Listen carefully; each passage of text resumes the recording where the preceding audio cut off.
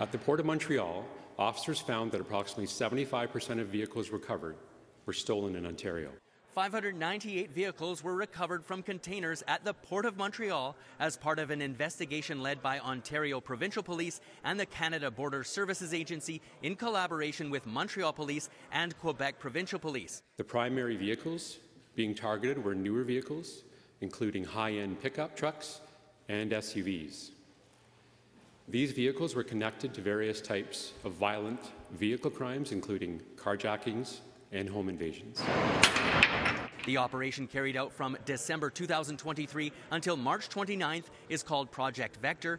In a press conference in Montreal Wednesday, the police forces said 390 shipping containers were inspected, resulting in the recovery of 483 vehicles that were reported stolen in Ontario and 115 from Quebec. Sûreté du Québec uh, and Project Vector was supporting uh, Montreal Police, also CBSC at the Port of Montreal, so seizing uh, those cars with our partners. After that, we're, we're getting all the intel of those seizures, and that intel was shared with our partners to uh, do new investigation and continue to put pressure on auto theft. About 75 to 80 percent of the Quebec vehicles come from the Greater Montreal region.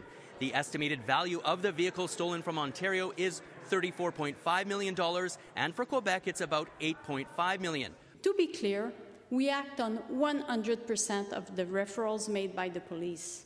And in addition to that, we also search based on our own intel and experience. I think probably it's just a question of opportunity because the port is in Montreal. It's the biggest port to uh, doing expedition. So I think it's just opportunity and not vulnerability.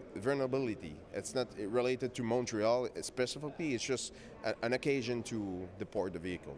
Authorities say that the recovered vehicles were destined to be exported overseas to markets in Asia, Europe, South America, and the Middle East.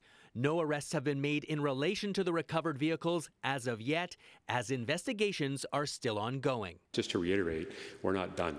You know, these are active investigations with all the police services you see here today, and we anticipate, uh, you know, arrests and charges in the near future.